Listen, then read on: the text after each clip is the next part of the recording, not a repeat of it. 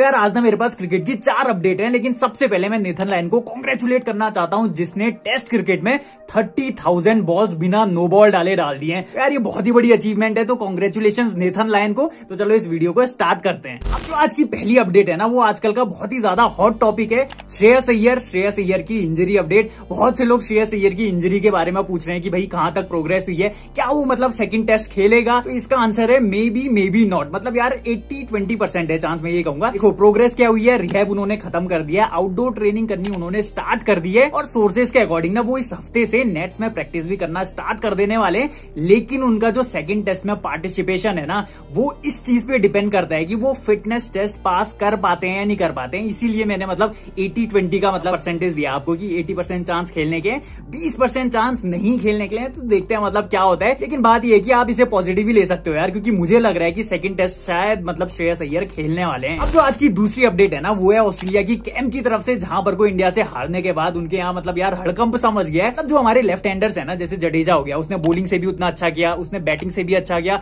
अक्षर पटेल जो कि एक और लेफ़्ट हैंडर है, उसने भी मतलब बहुत ज़्यादा रन बनाए थे। तो ऑस्ट्रेलिया वाले यार मतलब एक लेफ़्ट हैंडर ढूंढ रहे हैं, इसीलिए उन्होंने मैथ्यू कुनेमन को, जो कि मतलब यार लेफ़्ट आर्म स्पिनर है, उसे ऑस्ट्रेलिया से बुला लिया है और इनका एक माइकल स्विप्सन करके प्लेयर था, उसे वापस ऑस्ट्रेलिया में भेज दिया है, क्योंकि उसका बच्चा होने वाला था शायद, लेकिन मैं तो बोलूँगा कि ये एक्सक्यूज ही है। मैथ्यू कुनेमन को इसलिए बुलाया जा रहा है क्योंकि इंडिया के लेफ़्ट हैंडर्स ने जो मतलब भोकाल मचाया था ना, उससे वो भी डेफिनेटली एक लेफ़्ट हैंडर चाहते हैं। और मैं कहना चाहूँगा ना, ये इंडिया के राइट हैंड बैटर्स के लिए ना, एक खतरे की घंटी टाइप की है। राइट हैंड बैटर्स तो छोड़ो, विराट कोहली के लिए स्पेशली क्यों बताऊँ, क्योंकि मैथ्यू कुनेमन एक तो यार डेब्यूटेंट है, और डेब्यूटेंट से टेस्ट में नौ बार आउट हो चुके हैं विराट कोहली, जो सबसे ज़्यादा है। तो विराट कोहली के लिए डेफिनेटली मतलब खतरे की घंटी है।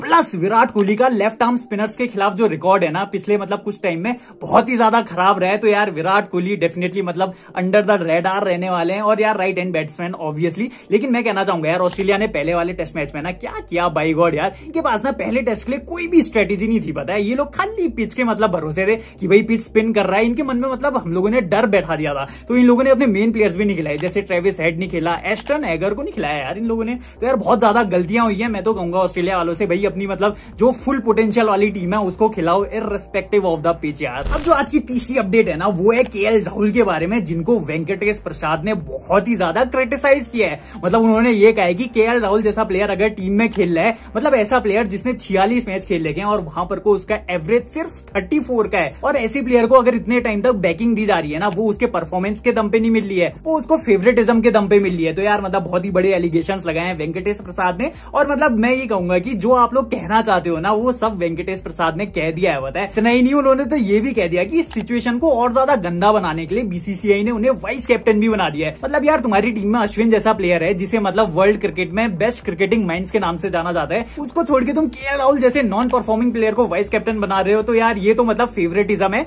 ये उनका कहना है, ठीक है? और उन्होंने तो ये भी कह दिया कि कोई भी एक्स क्रिकेटर ना, इसके बारे में क्यों कुछ नहीं बोलता है बताए क्योंकि उन्हें चाहिए आईपीएल का पैसा, और अगर ये लोग मतलब क्रिटिसाइज कर देते हैं किसी बड़े प्लेयर को तो आईपीएल की फ्रेंचाइज नाराज़ हो जाएगी। तो भाई, इनका जो मतलब कॉमेंट्री का स्टेंट है खत्म हो सकता है। जैसा मतलब एक एग्ज़ाम्पल है हर्षा भोगले तो मतलब उनका ये सब कहना है। तो उन्होंने मतलब अपनी बात रख दी थी, लेकिन इस पे फिर सनी गावस्कर भी कूद गए। उनके अकॉर्डिंग के राहुल ने पिछले एक दो साल में बहुत अच्छा परफॉर्मेंस किया है तो वो डेफिनेटली मतलब अगले मैच के लिए भी बैकिंग डिजर्व करता है। लेकिन सही बताऊँ, मैंने भी मतलब यार थोड़ा बहुत सोचा, मैंने मतलब के राहुल के पिछले एक दो साल के परफॉर्मेंस देखे।